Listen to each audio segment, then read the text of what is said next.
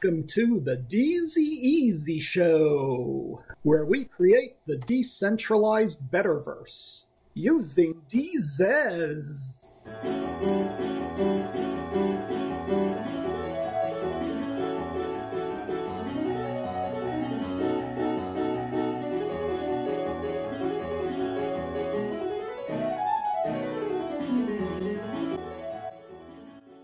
Uh, let's learn about the decentralized internet.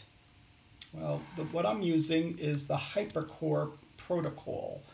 So hype gives you all these beautiful commands. So hype info. Okay, so what is a hypercore?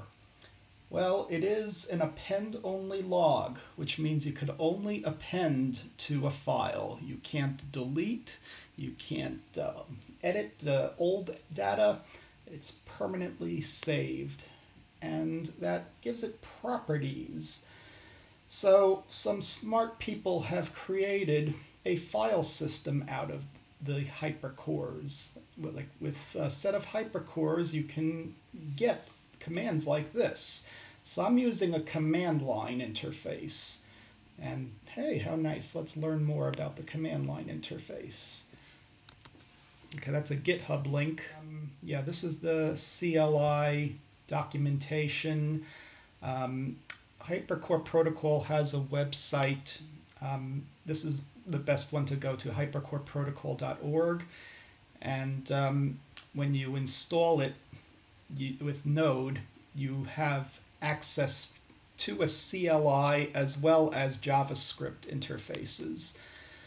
So I have a laptop running in my basement and it is serving some hyperdrives. And now let's look at one that I created today for Kansas Fest. Hype ls and you need a secret key. No, that's not it. Oh, sorry. Okay, let's try that again. Hype ls and then paste in the secret key, 64 hex digits. And it just went down to my basement and gave me a directory of a hyperdrive. Now, what is in it? Oh no, Carrington is in it. There's Chicken Missile. Oh, Monster Feet. Oh, yeah, yeah. Let's get the README file. So let's hype cat readme.txt. Okay, hype cat, you need the key because that is a hash in a distributed hash table.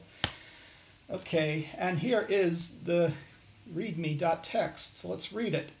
Hello, Kansas Fest. This is a hyperdrive on the decentralized internet, and that's the Hypercore Protocol website.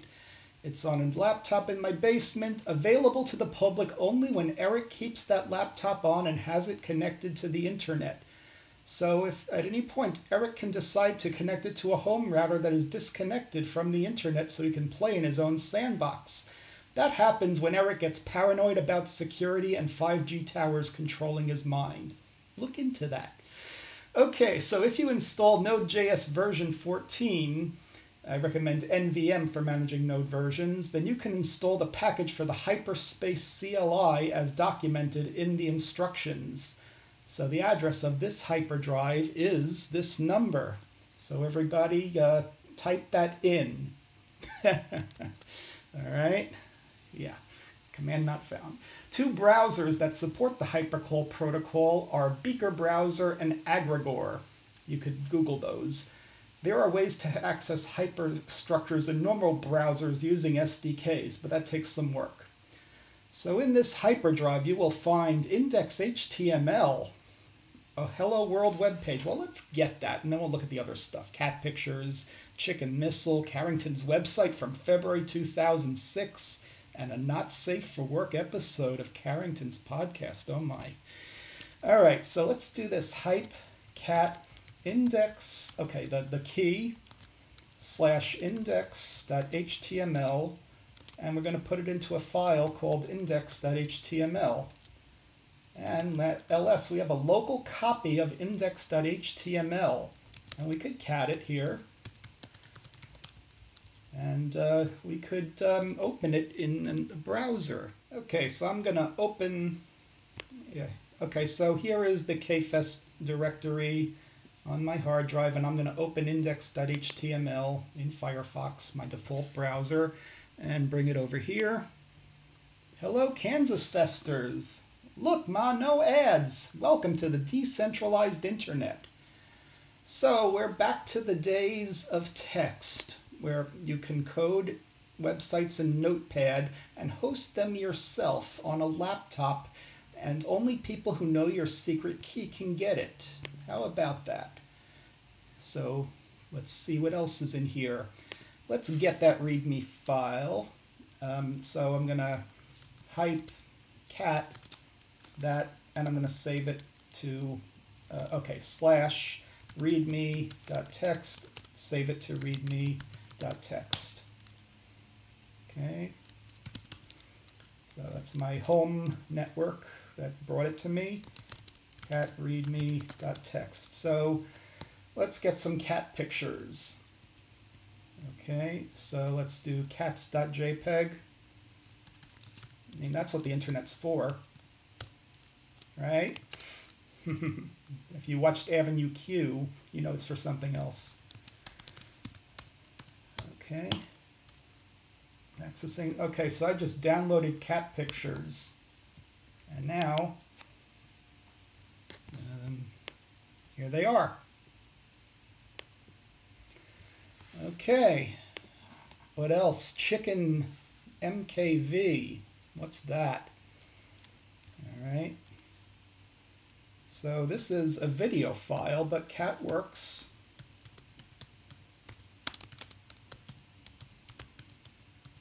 And there is an easier way to download all these contents, but I'm going to wait a second to show you that. Okay, so I just got an 8 megabyte chicken MKV file, and now I could play it locally. So this is our own YouTube. Okay. Chicken missile! Let's watch it. It's a pretty amazing props for an audio podcast. That's what I said. We have to do some sort of little video. Just Yeah, imagine that we're all. I, I mentioned puppets that to look my like boys when the puppet came yesterday. They're like, "What is this for?" I'm like, "Oh, Charles sent it for the Audio audio podcast. podcast we're doing tomorrow." and I just let that sit there. now can we do the intro song? It's time to play music. It's Time to light the lights. It's time to get things started on the on chicken, Chicken missile missile tonight. boom, boom, boom, boom. It's time to do the intro. It's time to alliterate. Infringing copyright tonight.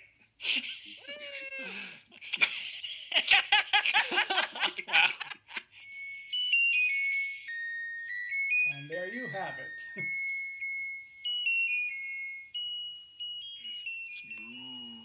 Smooth. Impressive handwork there, Carrington. you are weirdly good at this. All right, Carrington, what were you doing in 2006? Oh no, let's see what's on here.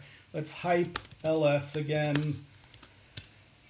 And we have a monster 2006.html and a monster feet podcast. Well, let's do this first. Um, let's hype diff from the hyperdrive to my local directory. And it's telling me that if I commit this diff, oh, it's going to add Carrington, oh no, to my hyperdrive. It's going to add Monster Feet and his HTML of his website and all the files, the Canadian podcast, oh no. Am I going to do this? So, yeah, I'm going to minus C to commit it. Okay, and commit these changes. Yes, I am committed. And done. Wow. Now what do I have? I have a whole copy of a decentralized website right here.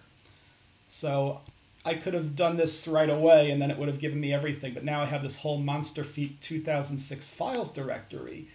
So now, disconnected, I could disconnect from the internet now and uh, look at Carrington's site from 2006, which I downloaded from the Wayback Machine this morning. So donate to the Internet Archive. And uh, oh boy, look at all that white, that green space.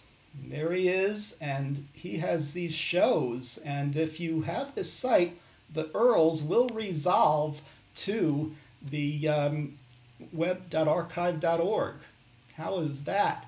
And then you could hear Carrington's podcast from 2005, 815. You're listening to the Monster Feet Variety Show. Okay. So, um, now I've also downloaded a free podcast for you to listen to when you're away from work. Let's just see.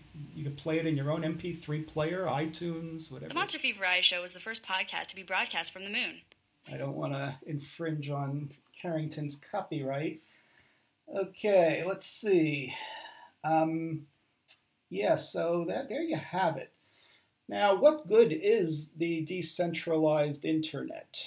Well, let's say um, we eventually have some browsers that support it.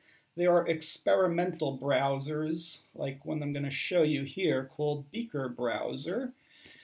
And uh, here's a website that I did, um, which um, it's not hooked up to data yet, but if it was, it could access data on a hyperdrive. And I'm using A-Frame for 3D rendering. So now this is OpenGL, so I can tilt and I can zoom back here, and then I could walk around here and turn it and see the beams connecting the boxes. So could zoom out, zoom in. I got to learn how to change my camera angle, and I got to learn. uh, So it also has a VR mode. So if you're using a Google Cardboard, you can do that. Yeah, sure. And then uh, yeah, you're in virtual world. So the metaverse, the Zuckerverse, is going to be something not like this. Okay, we're going to try to put useful information into our metaverse. So here is an example, like say you're on a call and you get a transcript, and uh, so someone says, hello, big, beautiful, crazy world, and uh, then there's more chats. Uh, I'm telling you to look behind me because we could put metadata into a 3D structure.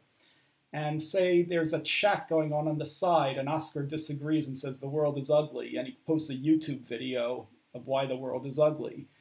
So let's look behind these structures. Okay, so um, how do you look, how do you safely look behind?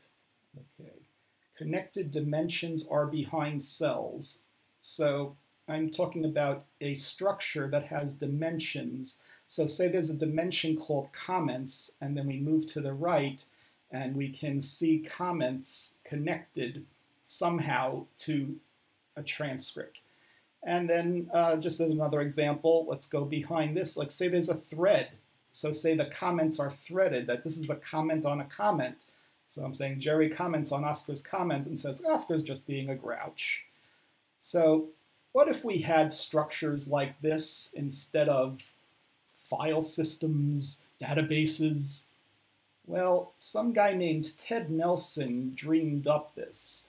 Um, th this is just picture here. There's nothing behind it, not reading data. It's just code, and I'd like to show you that code. Okay, so let's take a look at some of this code. So it's using a library called A-Frame, and it's in a vendor uh, directory, aframemin.js. Isn't that beautiful?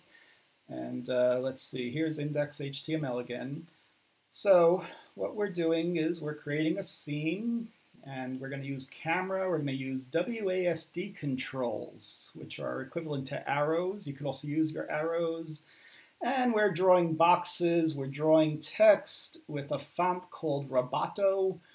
And uh, let's see, we're doing cylinders and green cells, and we have control of rotation, color, width, height, positioning. And uh, if you work on your um, numbers correctly, you'll get it looking good. And you even have a sky. You can change the color of the sky. How about that? Okay, so that's all an A-frame scene. Um, aframe.io is their website to learn all about it. Okay, and uh, this up.sh is how I uploaded this website to my uh, decentralized server, which is not really a server, it's just a laptop communicating peer-to-peer -peer with whoever knows these secret keys. So let's continue with the vision. Let's magnify this because we're all getting older. Okay, Kansas Fest. So let's continue reading. So that's running on Node.js version 14, and we were using the Hyperspace CLI. So a hyper URL is an address, and there's a protocol handler in the Beaker browser and Agregore for the hyper protocol. So this is just like any other um, quote decentralized internet product, but it does not use blockchain. Uh, sorry, Charles. Yeah, I'd love to run on an Apple II blockchain, but I'd love to see this, um, these hypercores being accessed by an Apple um, with a Wi-Fi modem or whatever um, Ethernet card, and uh, let's put some Apple II disk images in them. So yeah, Beaker Browser and Agregore are the browsers, and there are SDKs, and you've seen that. So 4 a.m., you're going to put all your disk images on the decentralized internet in hyperdrives, in hyperspace. We'll go into more in another time.